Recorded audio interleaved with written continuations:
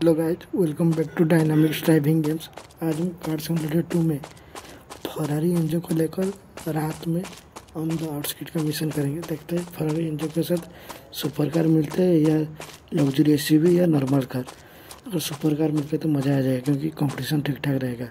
तो चलिए game play को एंजॉय कीजिए और चैनल को सब्सक्राइब करना बिल्कुल मत भूलिए।